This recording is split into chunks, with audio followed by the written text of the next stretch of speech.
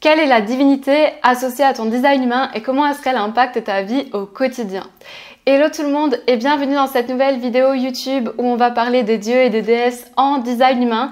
Je me suis dit que ce serait vraiment top de vous faire une intro via une vidéo puisque j'ai donné cet atelier dans ma formation design humain et euh, j'ai eu beaucoup de questions aussi à ce sujet. Mais Lisa, qu'est-ce que c'est euh, ma divinité en design humain? Comment est-ce que ça impacte ma vie? Qu'est-ce que ça me sert de savoir ça? Alors avant toute chose, si tu viens d'arriver par ici, je m'appelle Elisa, je suis formatrice en design humain. Je suis également naturopathe. Pense à t'abonner pour suivre le reste de mes partages autour du design humain et tu peux aussi obtenir ta carte gratuitement sur mon site internet. Il la faudra pour cette vidéo du moins. Euh, comme je te le disais, tu peux retrouver beaucoup d'informations sur ma chaîne YouTube pour comprendre à décoder ta carte, etc. Les dieux et les déesses, c'est pas forcément quelque chose qu'on trouve facilement en fait quand on fait ses premières recherches sur le design humain. Pourtant, je trouve que c'est hyper pertinent. En tout cas, quand moi j'ai compris la divinité qui était associée à ma carte, ça m'a permis de comprendre plusieurs choses et aussi de comprendre les challenges que je pouvais souvent avoir dans ma vie.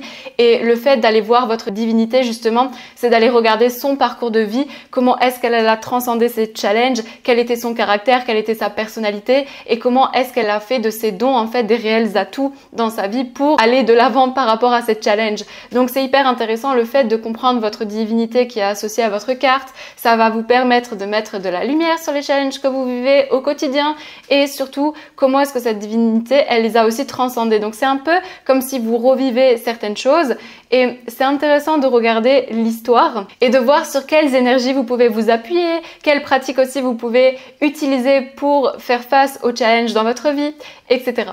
Donc déjà, comment est-ce que vous pouvez concrètement savoir quelle divinité est associée à votre schéma?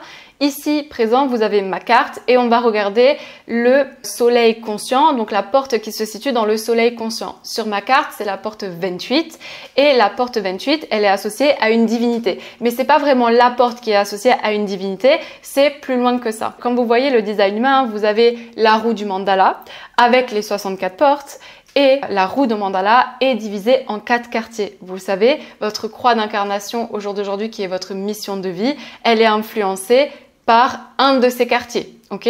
Donc quand vous regardez le mandala avec les quatre quartiers divisés, vous allez apercevoir qu'en fait il y a encore des sous-quartiers et que chaque quartier du mandala est divisé encore en quatre parties. Donc ça veut dire qu'en tout il y a 16 divinités présentes dans la roue du mandala et que pour chaque divinité, quatre portes lui sont associées et les quatre portes qui sont associées à cette divinité vont représenter des influences de sa personnalité, de ce qu'elle pouvait dégager, de comment est-ce qu'elle pouvait agir.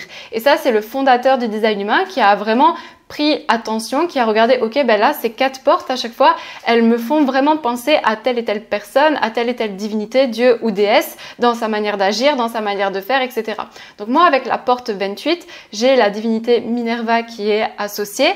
Ce qui va être intéressant maintenant, c'est plus de comprendre le côté technique. Donc quand vous regardez la roue du mandala, le quatre quartiers, plus qui sont divisés chacun en quatre parts à nouveau, et de ces quatre parts, vous allez retrouver la divinité et la divinité avec quatre portes associées.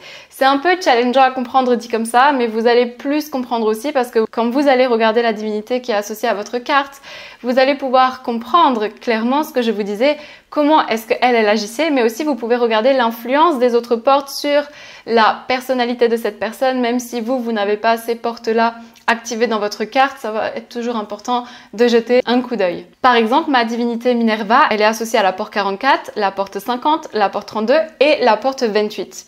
C'est vrai que dans ma carte, j'ai la porte 50, j'ai la porte 32, j'ai la porte 28, mais j'ai pas la porte 44. Donc c'est intéressant d'aller lire l'histoire de cette déesse et même vous, vous pouvez aller voir simplement sur internet, vous tapez, euh, ben, il y, a le, y a la divinité du Christ, il y a Hadès, etc. Donc là, vous allez chercher directement et puis vous pouvez tirer des informations et regarder la vie de cette divinité et comment est-ce qu'elle a transcendé les choses comme je vous le disais au début de la vidéo. J'espère que c'était clair pour vous. Si vous débutez encore une fois dans le design humain, ça peut paraître euh, challengeant de comprendre tout ça.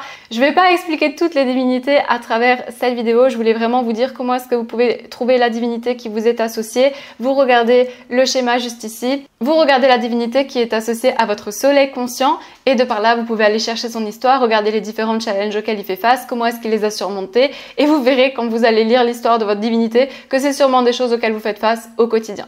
Donc pensez à me dire votre déesse ou Dieu en commentaire. Je suis toujours ravie de vous lire et on se retrouve prochainement pour un nouveau sujet sur le design humain ou la naturopathie.